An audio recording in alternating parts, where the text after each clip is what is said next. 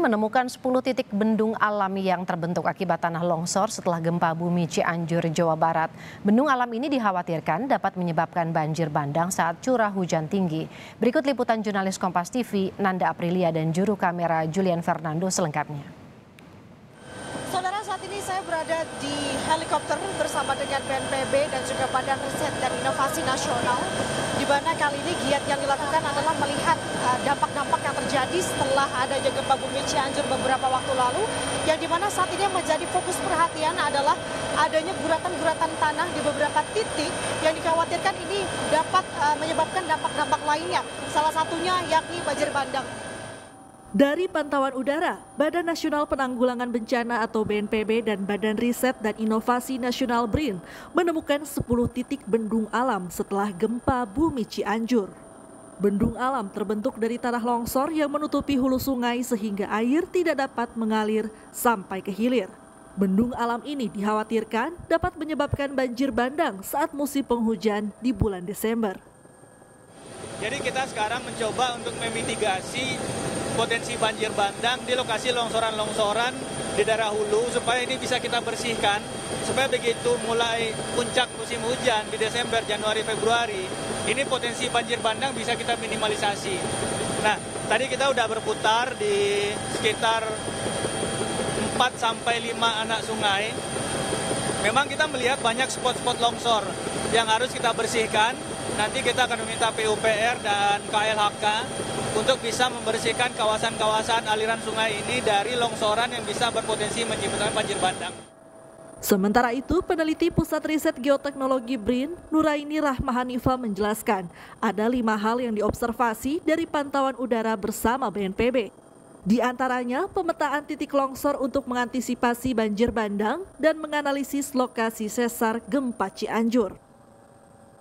Uh, di sini yang menarik gempa Cianjur itu uh, walaupun gempanya magnitudonya 5,6 tetapi dia menimbulkan cascading uh, risk longsor-longsor beberapa titik longsor yang kemudian titik longsor ini nantinya juga bisa memicu terjadinya banjir bandang artinya cascading risknya cukup signifikan.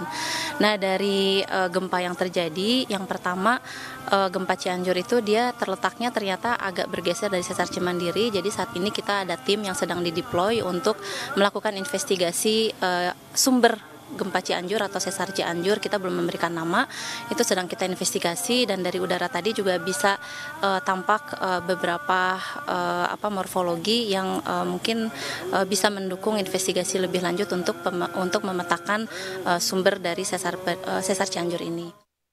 Melalui pantauan udara, BRIN juga mengobservasi sebaran dari kerusakan akibat gempa Cianjur serta menganalisis lokasi patahan gempa. Dengan mengetahui pola patahan gempa secara spasial, BRIN dapat lebih memahami strategi mitigasi kebencanaan. Nanda Aprilia, Julian Fernando, Kompas TV Cianjur, Jawa Barat. Pasca gempa sejumlah pedagang pasar di Pasar Mangun Kerta Cianjur kembali berjualan. Para pedagang di pasar ini hampir semua rumahnya rusak karena gempa. Mereka juga mengalami kerugian hingga belasan juta rupiah. Pasca gempa terjadi puluhan pedagang pasar di Pasar Mangun Kerta, Kecamatan Cugenang, Kabupaten Cianjur, Jawa Barat, sudah kembali buka setelah 10 hari tutup. Dan saat ini pasar mulai ramai dikunjungi konsumen. Gempa menyebabkan seorang pedagang mengalami kerugian belasan juta rupiah karena dagangannya busuk akibat tidak diurus dan saat ini hanya stok lama yang mereka jual dan belum bisa membeli stok yang baru.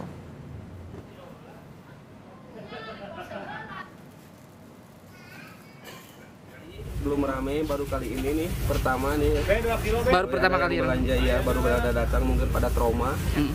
belum nih baru ya sekitar 10 persen 20 persen lah yang beli hmm. dari 100 persen kemarin berapa hari pak tutup pak 10 12 hari eh 10 hari 10 hari, 10 hari. 10 hari. Oh. kalau kios enggak sama kemarin baru barusan belanja hmm. itu hancur semua belanjaan 16 juta rugi berarti pak ya? rugi ya